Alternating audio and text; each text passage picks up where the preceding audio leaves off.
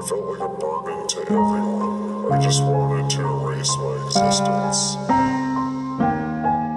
I've always had this feeling that I'm not doing as much as I can in this world, or I'm not changing the world in any way. So what's the point of living? After dealing with it for so long, I couldn't handle it anymore. So one night I downstairs and took all the pills in the cabinet. I woke up in the hospital hooked up to a bunch of machines. I promise you it gets better. It gets better.